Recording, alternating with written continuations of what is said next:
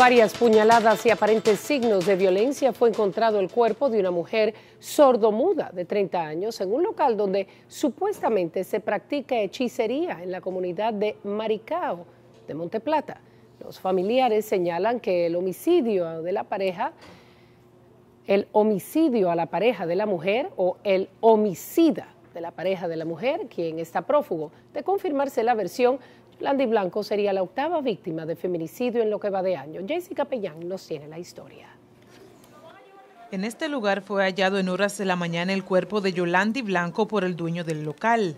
Aún impactados por el crimen, los parientes de la víctima detallaron que ella mantenía una relación desde hace cinco meses con quien alegadamente se convirtió en su verdugo.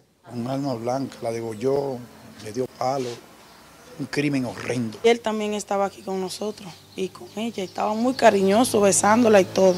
Una hermana de la víctima narró cuál fue la última conversación que tuvo con la pareja de Blanco, quien es el principal sospechoso y quien solo fue identificado como Dadio Tati de nacionalidad haitiana. Yo, pero él parece que tenía lo de entramado, bien, bien, bien tramado, porque él me dijo que me iba a dar un regalo bien grande. El hombre trabajaba como velador del local donde fue hallado el cuerpo de la víctima. Una muchacha joven, llena de vida, Así, mire, perderse una vida así, eso es una cosa. Se veía, aparentaba una cosa, pero era un poco agresivo. Era una persona un poco agresiva. El cuerpo de la joven fue levantado y llevado al Instituto Nacional de Ciencias Forenses del Hospital Marcelino Vélez. El cuerpo de la víctima será sepultado en su natal de Jabón. Jaycee Capellán, Noticias, SIN.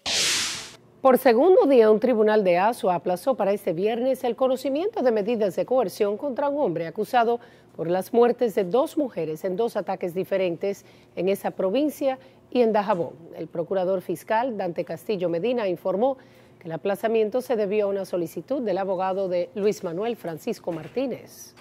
Que las autoridades de Dajabón nunca se preocuparon por atrapar a este individuo que tenemos informes extraoficiales de que ha matado a dos personas más. Debido a un planteamiento que hizo el abogado de la defensa, donde están alegando que necesitan presentar presupuesto.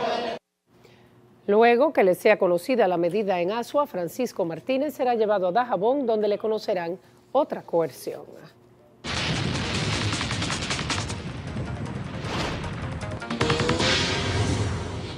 En tu dinero esta noche, al considerar que es un proyecto para ocultar las ganancias de las administradoras de fondos de pensiones, la Confederación Nacional de Trabajadores Dominicanos rechazó este miércoles la aprobación en el Congreso de la ley que modifica el esquema de las comisiones que cobran esas entidades. El gremio aseguró que esta ley afectará la calidad de pensiones de los trabajadores. Si un trabajador gana 10 mil pesos y obtiene una pensión, digamos, de dos mil pesos, como lo dice, pues tiene una tasa de reemplazo de un 20%. Y lo que se dice que no, los trabajadores al momento de llegar a su pensión no van a tener una tasa de reemplazo, no va a llegar ni siquiera al 25%. Según la ley, que solo espera ser promulgada por el Ejecutivo, las AFP percibirán ingresos a través de una comisión anual sobre el saldo mensual la comisión será de 1.20% en este año 2020 y se reducirá gradualmente hasta llegar a 0.75% en el año 2029. El Banco Popular Dominicano informó que obtuvo un excelente desempeño al término del pasado ejercicio social de 2019 que contribuyó a potenciar el desarrollo de los sectores productivos del país, consolidando una trayectoria de crecimiento constante, sano y diversificado en la organización financiera. El señor Christopher Paniagua, presidente ejecutivo del banco, presentó estos resultados preliminares a un grupo de ejecutivos y líderes de opinión de los principales medios de comunicación. Allí estaba una servidora. Paniagua informó que el Banco Popular concluyó este 2019 con activos totales por un valor de 478.169 millones de pesos, mostrando un crecimiento de 12.8% con respecto al año pasado. El presidente Medina dio este miércoles el primer palazo para la construcción de dos nuevos hoteles en Playa Esmeralda Miches. Los complejos Secrets Playa Esmeralda Punta Cana y Dreams Playa Esmeralda representan una inversión de 400 millones de dólares y contarán en conjunto con 1.500 habitaciones hoteleras.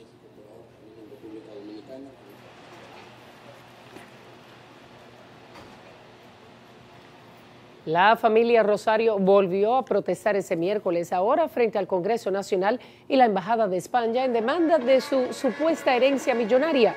Los manifestantes dijeron que continuarán en pie de lucha hasta que el gobierno les entregue lo que aseguran les pertenece.